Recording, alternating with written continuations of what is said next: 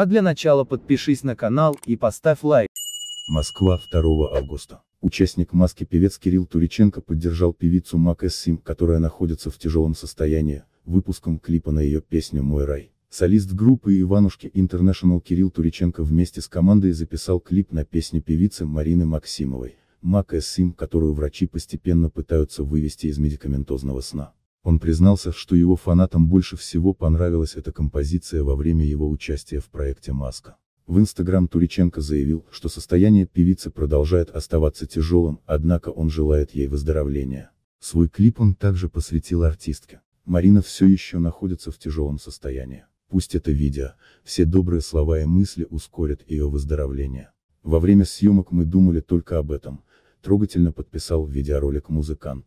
Мака сын попала в больницу с пневмонией после концерта в Казани в середине июня.